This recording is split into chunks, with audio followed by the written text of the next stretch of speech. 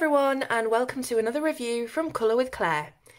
Today we've got another edition of Colouring Heaven to have a look through. This is the Animal Wonderland special and it features 40 brand new and exclusive designs by Kanoko Egusa.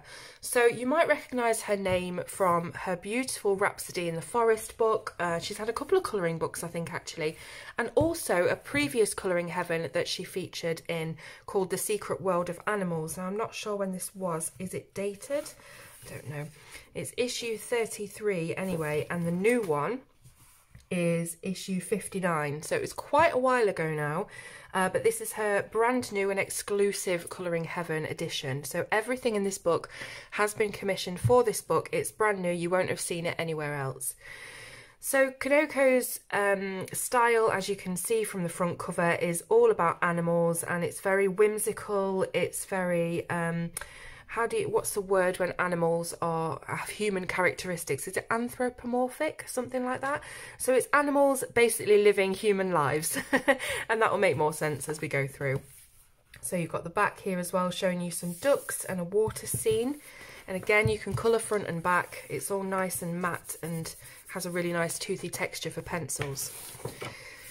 So we open up and as usual we have our colour combination charts, a little bit of information about Kanoko, just saying that she was born just north of Tokyo. Um, she learnt design and illustration at school and worked as a freelance graphic designer on her graduation. In 2011 she started work as an illustrator, creating imaginary worlds filled with animals, flowers and plants. In 2015 a job offer changed her life when she was asked to illustrate a colouring book. The result was the beautiful Rhapsody in the Forest and Menway de Bonheur books published in 2017. And then you've got her different links there for you to go and find her work. So let's have a look at her beautiful illustrations. So some of them are portraits, some of them are landscape. It's a mix throughout the book. And as you can see, it just really, each one encapsulates this really small sort of um, sneak peek into the world of these animals. So this one, it's just a a little peep into the, their forest world. You've got robins and ducks and really beautiful plants and flowers. It's a very delicate, gorgeous type of illustration. It's really, really nice and sweet and detailed and quite realistic as well. Even though it's sort of fantastical subject matter, the, the drawings are realistic. So this is the one I've done. As you can see, it's one of the first ones already. Um, I coloured this with Prismacolor pencils and a little bit of white gel pen. So I really, really enjoyed colouring this one. And the main thing, the main reason that I chose it was because of the gorgeous Tiffany lamp. And I don't think I've coloured a Tiffany lamp before. So I really wanted to, um, to give that a go and try and emulate the beautiful shards of glass and how they're all different colours and shades and things like that. So that's what I did. Um, I'm really pleased with how the, the lamp stick, I want to say lamp stick, what is this? Uh, the base of the lamp has turned out. I used uh, sepia, um, sandbar brown, lime peel I think, and then jasmine to make to make this metal colour. And I might even do a tutorial of that because it's turned out really really well. It's it's like a tarnished metal that's that needs a good clean. Um, so yeah I just went with it and that's what came out anyway. Uh, the macarons I used a tutorial from Helen Elliston's Colorist Special Effects to get those really nice macaron textures on there. Um, yeah, so yeah, I really enjoyed how that's turned out. I, I really um, wanted to keep it quite cohesive with the colours because I often just use too many colours and it looks all over the place. So I made sure that I used all the colours from the Tiffany lamp in the different elements of everything under here. So the flowers, the uh, the rabbit's dress or cloak or whatever it is he or she's wearing. Uh, so I tried to keep it all cohesive in that way. So this is, oh, we've got some little pigs, pigs in teacups, ducks in cups, we've got lambs and um, rabbits. So it has a very sort of springtime fresh um, baby animal feel. So this is, I believe, the fox from the front cover. Yes, you can see there. And he's just nestled in the woodland. You've got the birch trees. That might be another um, tutorial that I do soon, how to colour a birch tree and get those textures on there. So we've got another springtime Easter illustration. We've got the big Easter egg wrapped in a ribbon, loads of gorgeous flowers and petals on top, and the little chicks uh, that have just hatched or hatching. This is a really nice one because it's got a frame going on. So you could almost imagine this as a photo frame in your living room. So you've got the gorgeous frame itself with all of the different posies on there. They look kind of like poppies, but I'm probably wrong. And then you've got the, the inner picture inside the frame, which could be done in completely different colours just to give the contrast of the frames. So this is a look inside the kitchen. We've got a hen sat in a dish. We've got a little rabbit sat in a bowl. Um, this frog has got his hands on a pear. We've got a bee up here. Uh, we've got some mice in the teapot. We've got honey and lemons and yeah, it's all very cosy country cottagey style illustrations. So this one is another sort of frame. It's one of those that it looks very simple, but then you look at all the detail and you can imagine it taking ages to colour. So it looks like there's not really too much on there, but they're really, it's deceptive in that way. Um, but all of these are pretty detailed. So if you're looking for something to really absorb yourself into and uh, take you away to another world for a few days, um, one of these illustrations will be fantastic. So we've got the little dormice inside the tulips and on the, I think, hmm, what is this? The leaves and things look like it would be a blackberry bush, but I can't see any berries on it. Anyhow, you've got the thatch roof cottage in the uh, in the background there as well, so it's almost again like this is framing the foreground. Uh, it has a lot of depth. A lot of these have quite a lot of depth. So we've got a gorgeous hourglass and instead of sand, this is filled with petals and flowers and blossoms. Absolutely gorgeous just really nice original ideas. And at the bottom here you can see we've got a couple of little dormice, or they could be rabbits even, I think they've got rabbit ears. A couple of little creatures anyway, snoozing in the hourglass. So this one is purely flowers, there's a couple of bees, or maybe one bee. Yeah, just one bee going through the flowers looking for his nectar. Then I think we're back in the kitchen, loads of food and plated uh, goodies. So if you want to learn how to colour some of the different foods on this page, I do have a food tutorial, how to colour berries and uh, jelly as well I've got on there and all different things. So those tutorials might help you with this book because there is a lot of food stuffs. But it looks like Mr and Mrs Mouse are on their anniversary dinner. We've got a waiter here with the napkin folded over his arm, ready to serve. Uh, it's just really sweet and I love how, again, that anthropolem, that name where the animals take on the uh, characteristics of the humans.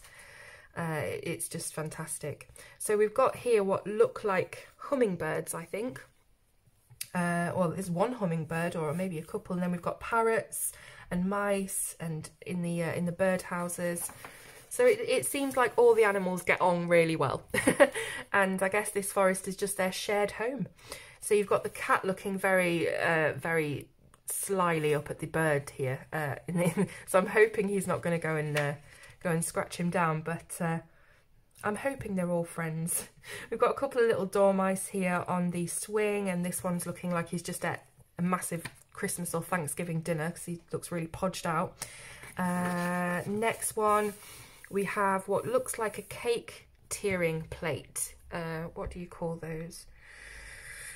um, a cake serving tray thing. So you would have like an afternoon tea on here, your scones, your jam, your cream, uh, but it's filled with plants and animals. It looks as if they have found one of these sort of nestled and hidden and forgotten within the forest and they've made their own habitat out of it. This is a kind of wallpaper illustration, so you can see that a lot of um, sort of gilded um, crosswork, bar work on here, metal work, and then it's sort of um, intersposed with all of these different creatures and uh, and things. this one's really, really nice. Uh, this really caught my eye when I was going through the book because of the depth of field and you can see, you know, all the different elements going on. So we've got a load of penguins and seals down here and this looks like some sort of Grecian building that's right on the edge of a lake or uh, even the ocean maybe and you can see the mountains in the background. There's a boat coming along, and then at the top you've got all the flighty animals, the birds, the butterflies, and the uh, the flowers dangling down. It's got a lot of depth in it. Uh, there's a lot of interest in it, and I think it'd be really, really beautiful when it's coloured. So here we've got uh, Princess Rabbit, I'm going to call her. She kind of looks like she could be a, a Cinderella type rabbit.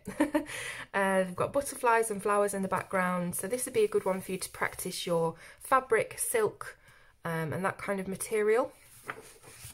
We've got another one that's this way around. This is a couple of pigs. They're very, very cute pigs. And they're sat inside a, um, I'm going to call it a, what are those hats made out of like rattan, like a summer hat, like a beach hat.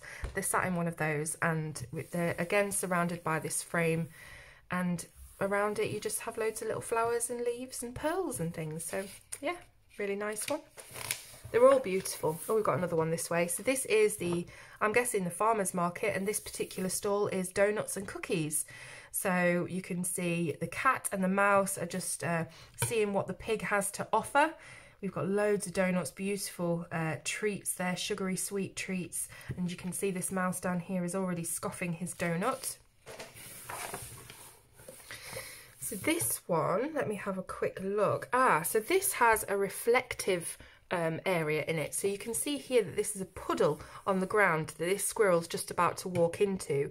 Uh, he's left his umbrella aside. I guess it's stopped raining. Uh, and you can see all of the leaves have loads of little dewdrops on them, raindrops. So again, another thing for you to practice. But this is going to look amazing when it's done because it is reflecting the sky. So you've got the reflection of all of the um, the foliage and the flowers, and then you've got the rainbow as well. So I'm really interested to see who colours that and how they go about it. So again, with the rain theme, we've got loads of umbrellas with all different patterns. And uh, again, just animals flying around, having fun. This is the one from the back cover that you saw. So we've got the ducks on the surface of the water and then bobbing just below. We've got all the creepy looking fish. These fish really freak me out. I used to live on a boat on the canal uh, for a very short time and I used to put my feet in the canal sometimes because it was like really hot summer and then I realised that there were these huge trout and, and things in there and it just really really freaked me out because the canal water is really dark and murky and you can't see anything but every so often you kind of get a glimpse of something just something massive just sort of floating on by and oh freaked me out. I don't know how I did it. I wouldn't do it now. Um Anyway, so this is, what is this? This is a, a sort of conglomeration of patterned, um, patterned things. I don't know what this is, but it's it's all mashed together with these frogs and these um, these flowers. I'm trying to figure out what it is. It looks almost like a Chinese, uh, you know those, uh, what do you call them? Those separation um, screens that you would put to get dressed behind. It kind of looks something like that. This one is, oh, all the ducks having fun in the swimming pool. Uh, again, just really, really sweet illustration and, and, a great sort of snapshot into their world. So all the ducks are in here with the little flowers. Um, they've got little, I don't know, these peaches or something that they're, they've got here and a cute little fox or a dog. It's probably a dog, isn't it? I think it looks a bit too yeah, it doesn't, yeah. Dog and a cat, let's just say. but again, just really fun. I like it. So this one has a lot of flotsam and jetsam and all this kind of um, oceany stuff. So we've got um, shells and starfish and cockles and, and all that kind of stuff. We've got this kind of seashell pattern going on as well, uh, scalloped edges, and we've got the two cats sat in the boat with the dolphin down here. So I can imagine this being a really fun summery illustration full of very bright, bold colours. Here we've got the horse or the donkey. I think I'm going to say it's a donkey or the mule. He's carrying the sacks of lemons. I think they're lemon. They might be persimmons or something weird like that. I don't know. and he's following the hen. I guess they're just fruit picking and collecting all of the harvest spoils. Then we've got another snapshot into the house of these rabbits. So they've got some guests around here. We've got a bear, we've got the squirrel, the cat, and the little mouse and they're all collecting up their fruits. I don't know what this one's, this one's just looking on despondently. Excuse me. So this one we've got a couple more. Uh, these look like swallows, I think. I'm going with swallows because of the, the wing pattern. It just reminds me of those tattoos you see on the necks of ex-cons. that's, that's really random and dark. Um, so yeah, the swallows are just flying around in the, these look like chestnut leaves or oak leaves, oak tree leaves. I don't know, I don't, I'm just guessing. Um, and berries, so yeah. This one's really fun. It's kind of a Halloweeny illustration. So it's set at night. You can see the stars in the background, the buildings. It reminds me of those children's books, Meg and Mog. Did you ever hear of those? I don't know if they had them in the US. they were massive over here in the UK, uh, and Funny Bones as well. I digress. Um, so we've got the fox on the broomstick and the little witchy mouse just hanging on. A couple of mice hanging on actually. We've got the owl. Um, the moon and the moonshine is going to be really, really good to colour on this. Um, and I guess making this a silhouette might be a good idea. So loads of detail on this one, but if you look into it, it really sort of goes very far. Again, it's got that depth. So here in the foreground, you've got the mice and he's sitting on some cluster crystals that seem to have just sprouted out of the ground alongside these mushrooms and toadstools. But then you look further into it and it's almost like um, a cave structure, again, with the crystals growing up and down and uh, leading, this tunnel leading to who knows what. This one's quite a fun one. So we're sat inside one of these kind of uh, Scandinavian, uh, are they Scandinavian shoes? I don't know. Um, the clogs, clogs aren't they? Denmark, Danish, I don't know. uh, we've got the squirrel sat inside the clog. Again, loads of sort of autumnal things in there, acorns and apples and nuts and things. And then down here we've got a cute little hedgehog. I got a lot of stick the other day when I was reviewing Kirby's book that uh, something I described as a hedgehog is actually an echidna, and I've never heard of an echidna, but to me it's, it's just a hedgehog with long feet. Uh, this is the inside of what looks like a bookshelf, I think, but within the bookshelf there are all these tiny little worlds going on. So you can see here between these two books, we have an archway that leads out onto some rambling field. Um, here we've got a little panda just sat down, little cat up there, as you can see. Um, here we've got do another doorway with a little mouse. We've got those cluster crystals again, a globe, a, a raccoon, I think. We don't have raccoons in this country. Um, then we've got a horse with, again, I think this is actually bringing in some of the elements of things that we've already seen throughout the book. So um, again with the cluster, with the um, hourglass, the butterflies. Um, yeah, so it's just a, a glimpse into the bookshelves. So here's another oval kind of portrait. I don't think this one would take too long. This is probably quite a good one for you to get stuck into if you want something quick and easy. So we've got the pumpkins and uh, the, I don't know, you call these gourds or marrows or something. I think this is a gourd, isn't it? Uh, we all have different words for things. I find it incredibly interesting, like it, between America and the UK and all the other countries and the different cultures and all the world, uh, the different words that we have for things. Like I think you guys call aubergines eggplants. I don't know. Um, anyway, so this one, this is really sweet because it's actually those little um, cut out clothing things that you used to get when you were a kid, or I, I did anyway and basically you would colour them and cut them out and the flaps would just go over your little character so you could dress them in different paper costumes. That's really sweet. We've got steampunk hat, we've got a clown costume, uh, we've got the witch's hat, plenty of different things there. That'd be really fun if someone um, scanned this and printed it onto heavyweight cardstock and actually made it into a usable um, thing. So we've got a couple of cats asleep in a hammock. We've got a duck down here. What else is going on? Nothing really. It's just a lazy little Sunday morning in a summery, bright and warm enclave of the forest. So this is Christmas time now, so I feel like we've moved from spring to summer with the ocean things and then to autumn with the pumpkins and gourds and now we're on to winter. So it's funny, I didn't really notice that as we came through, but it seems to be the, the running theme. Um, so we've got Christmas baubles or ornaments, decorations, and they're filled with little animals. Um, we've got a little cherub down here. We've got a couple of robins. Uh, this, what kind of dog is this? Is it a Pomeranian? I always get mixed up with dogs. We've got a lamb and another angel. Really Christmassy. And then could you get any more Christmassy than a gingerbread house with Christmas trees and snow and polar bears and sweets and candy and all sorts of good stuff. This one is a sweet little cat just uh, walking through the fields, walking through the uh, the forest, and it's just started to snow, and all these gorgeous different shapes of snowflakes just falling down. And then the very last illustration we have is another one of these gorgeous framed illustrations. So again, I would do a different um, a different pattern, a different colour scheme around this pattern and then something completely different in here so it has that contrast.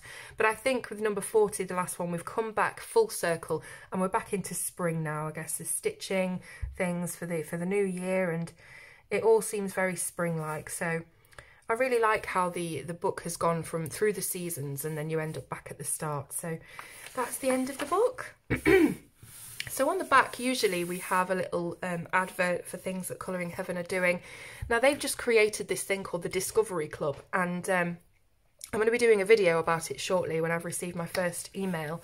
Um, but basically what the Discovery Club is, is that you pay £3.98 a month and then every week, I believe it's on a Friday, you will get an email and in that email you will discover a brand new artist. So a new artist every week, you'll get an exclusive design to colour, so a download that you can print off, you'll get an artist interview and loads more different stuff um, included in the club. So £3.98 a month is just really not that much at all to um, to get not only a beautiful illustration, which as you can see, some of the examples around here, I believe this is Laura Rafferty, um, trying to identify the others, I can't.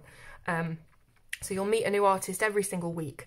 And for that price per month, I think it's, it's a really, really good uh, thing to do, especially if you like printing out your own images onto your own paper and uh, you know finding something different every week. You'll also get discount codes, I believe, for the the shops or um, what have you of the artist. So really worth doing, but I will be doing a proper in-depth review on it very soon. So if you want to get your hands on this book, you know what to do by now if you've been watching my Colouring Heaven reviews. Uh, all the links will be in the description. So you can either, if you're in the UK, nip out to your local supermarket and shop and find this on the shelves right now. Or if you can't find it in your supermarket or you live anywhere else in the world, you can buy it online. And the link, as I said, will be below this video in the show notes. And you can also subscribe. So if you have enjoyed the last few episodes of Colouring Heaven and you think this is something you'd like to buy regularly and get introduced again to another artist every single month, um, why not subscribe and it will arrive on your mat through your door without you having to do anything else every single month. So I really hope that you've enjoyed looking through the latest edition of Colouring Heaven. Let me know in the comments what you think. Um, something like 60% of my viewers of my videos apparently are non-subscribers, which I just found out the other day. So I would really, really love if you've enjoyed this and you like my videos for you to subscribe to the channel, please, um, and see everything more that I have to offer. So please subscribe if you haven't already give the video a thumbs up so other people come across it more easily and uh, thank you for watching. I'll see you soon on Colour with Claire.